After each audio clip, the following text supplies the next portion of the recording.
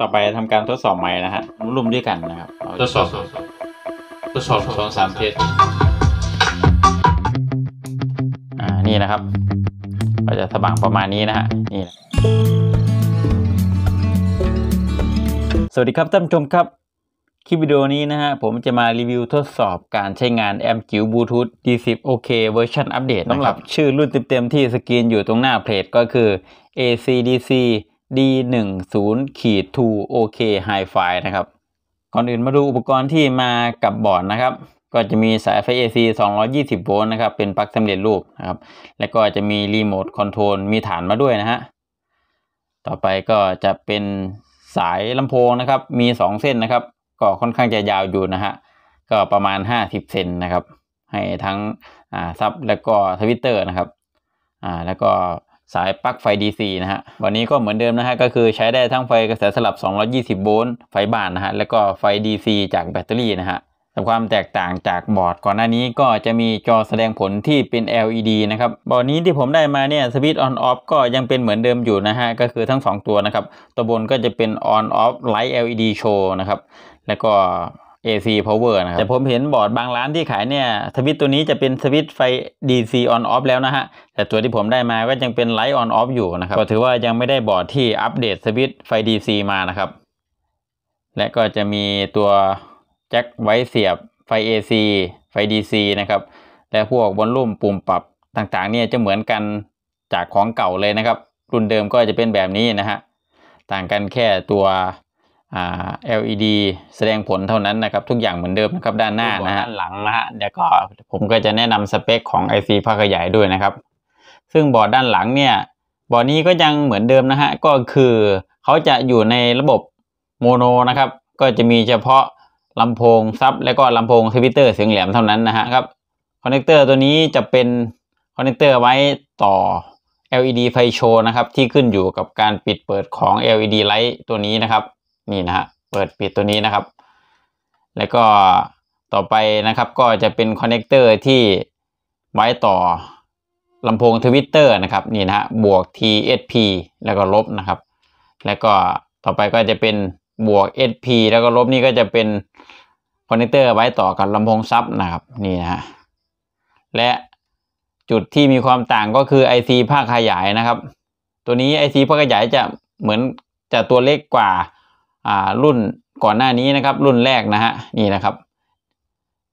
แล้วก็ตัว volume เนี่ยก็จะมีความต่างนะครับ เพราะว่า volume ของตัวรุ่นเวอร์ชันเดิมเนี่ยเขาจะเป็น volume ตัวใหญ่นะครับ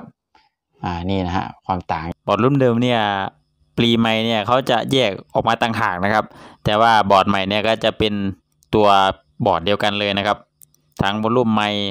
volume ปรับเสียงเนี่ยก็จะอยู่ในบอร์ดเดียวกัน ขนาดของตัว volume ก็จะมีความต่างกันนะครับ เล็กกว่ากันนะครับแต่ค่าความต้านทานก็จะเป็นค่าเดียวกันนะครับไม่ได้ต่างกันแต่เป็น volume mono เหมือนเดิมนะครับนี่นะมีสามขาเท่านั้นนะครับนี่นะครับและในส่วนของตัวหม้อแปลง switching เนี่ยก็ตัวเท่ากับของรุ่นของเดิมนะครับ แต่จะต่างก็คือตัวคาปาฟิลเตอร์อ่าภาคจ่ายไฟกระแสสลับนะครับ จะมีตัวเล็กกว่าเดิมนะครับขนาดเล็กกว่าเดิม ของเดิมเขาเนี่ย 400 โวลต์ 22 ไมโครฟาราดนะครับ แต่ของใหม่เนี่ยอ่ารุ่นล่าสุดเนี่ย 10 ไมโครฟาราด400 โวลต์นะครับ ความจุน้อยกว่าเดิมนะครับ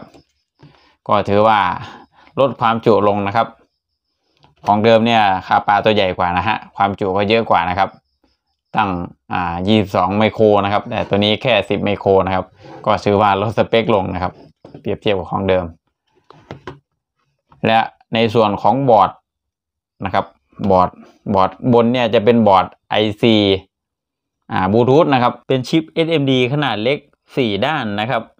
แต่จากข้อมูลร้านที่ผลิตเนี่ย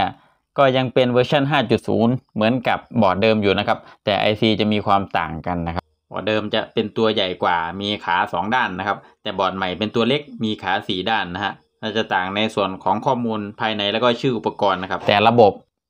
การทำงานก็คือยังอยู่ในระบบ mono เหมือนเดิมนะครับอ่าเดี๋ยวผมจะแนะนำสเปคของ IC ภาคขยายนะครับว่า IC ตัวนี้เป็นเบอร์อะไรนะครับ และขนาดตัวถังของตัว IC ภาคขยายบอร์ดใหม่เนี่ยจะเล็กกว่าบอร์ดเก่านะครับนี่นะฮะมาดูเบอร์กันครับบอร์ดนี้จะใช้ IC เบอร์ HT 3 1 6 3นะครับตาม Data Sheet ของตัว IC นะครับบอร์ดนี้กำลังขับสูงสุดเขาจะอยู่ที่ 40 วัตต์นะฮะ แต่จะเป็น IC โมโนนะฮะสำหรับกำลังวัตต์ของตัว IC เนี่ยจะขึ้นอยู่กับแหล่งจ่ายไฟ และก็ค่า impedance หรือว่าค่าโอห์มของลำโพงนะครับและ IC ตัวนี้จะอนุญาตให้ใช้ impedance ไม่ต่ำกว่า 4 โอห์มนะครับและไฟเลี้ยง 12 โวลต์กำลังวัตต์อยู่ที่ 12 วัตต์นะครับไฟเลี้ยง 18 โวลต์กำลังวัตต์อยู่ที่ 32 วัตต์ ในส่วนของไฟเลี้ยง 18 โวลต์เนี่ย ถ้าเกิดว่ากำลังวัตต์สูงสุด 40 วัตต์เนี่ย ก็จะมีความเพี้ยนอยู่ 10%นะครับ แต่ถ้า คุณภาพเสียงคุณภาพจริง ๆ ก็อยู่ที่ 32 วัตต์นะครับ ก็จะมีความเพี้ยนอยู่ 1%นะครับ ตามสเปคของ IC ก็จะอยู่ประมาณนี้นะฮะ ก็คือประมาณ 32 วัตต์นะครับ เน้นๆนะฮะและแหล่งจ่ายไฟก็ไม่ควรเกิน 18 โวลต์นะครับครับมาทดสอบการใช้งานกันเลยนะฮะลำโพงผมต่อสายไว้เรียบร้อยแล้วนะครับซับวูเฟอร์เนี่ยผมใช้ลำโพง 4 โอห์มนะครับ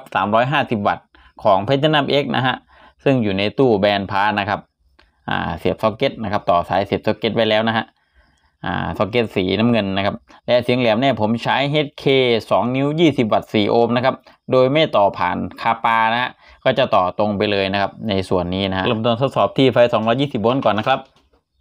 อ่า เสียบปลั๊กแล้วนะฮะ แล้วก็ทำการออนสวิตช์ AC power นะครับ อ่า นี่นะครับ ก็จะขึ้นโหลดก่อนนะครับ ในโหมดของบลูทูธนะครับ ก็จะมีเสียงแจ้งเตือนนะฮะชื่อบลูทูธคือ SZM DA 101 นะครับอ่าทำการเชื่อมต่อบลูทูธและก็ทดสอบเปิดเพลงนะฮะ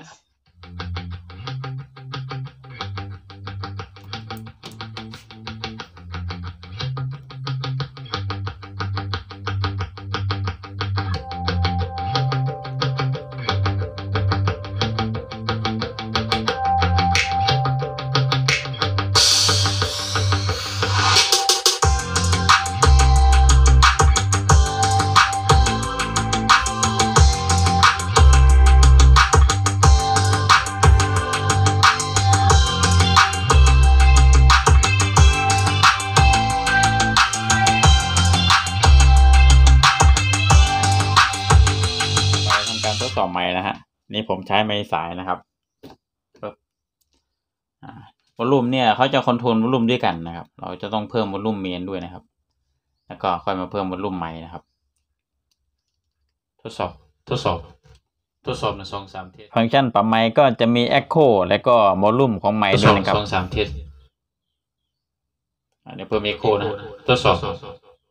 ทดสอบสองสาม testลบทดสอบ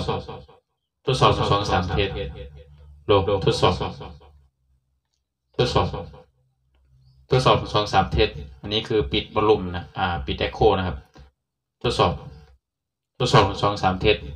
เราก็สามารถที่จะพูดไมค์ไปด้วย แล้วก็เล่นเพลงไปด้วยได้นะฮะก็เหมือนกับรุ่นก่อนหน้านี้ครับ ทดสอบทดสอบสองสาม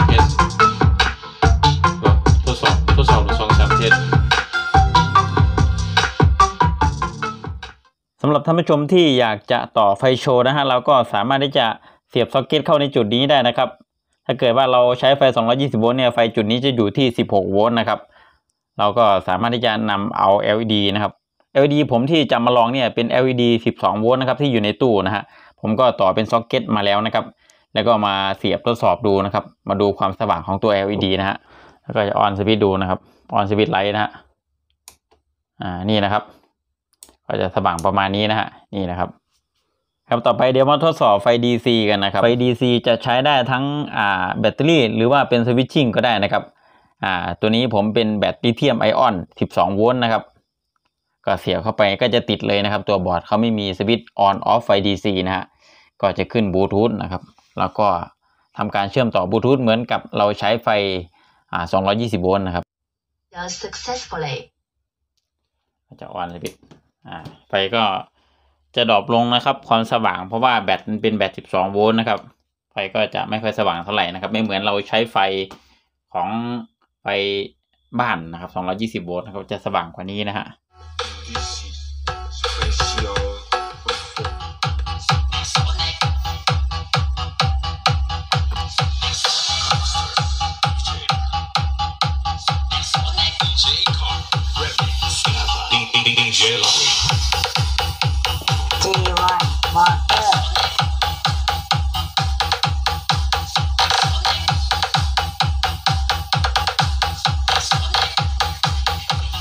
ำหรับบอร์ดนี้นะฮะ IC พักขยายเนี่ยเวลาใช้งานเนี่ยอุณหภูมิสูงที่วัดได้ก็อยู่ที่ 36 องศานะครับแน่นอนนะฮะไฟเลี้ยงอยู่ที่ 12 โวลต์เนี่ยไม่มีปัญหานะครับในส่วนของความร้อนของ IC พักขยายนะครับแต่ถ้าเกิดเราใช้ไฟสูงขึ้นก็อาจจะมีความร้อนอยู่นะครับครับเสร็จแล้วนะฮะสำหรับการทดสอบแอมจิ๋ว AC/DC 2 OK นะครับซึ่งเป็นอีกเวอร์ชันหนึ่งนะฮะ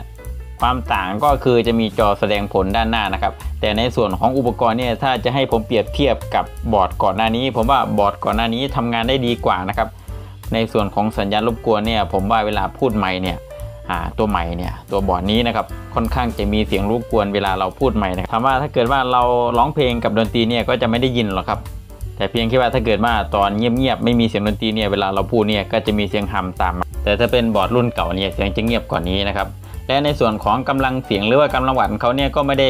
สูงไปมากกว่าบอร์ดเดิมนะครับ แต่ว่าโดยรวมแล้ว IC ภาคขยายก็ตัวเล็กกว่าด้วยนะครับถ้าจะให้ผมให้คะแนนนะฮะผมจะให้บอร์ดเดิมมากกว่าเลยนะครับก็ถือว่าเป็นการรีวิวเปรียบเทียบนะครับ ยังไงก็ถ้าชอบคลิปนี้ก็ฝากกดติดตามกดไลค์กดแชร์กดกระดิ่งกับช anel แจ็คดีไวเจอกันใหม่คลิปหน้าครับ คลิปนี้สวัสดีครับ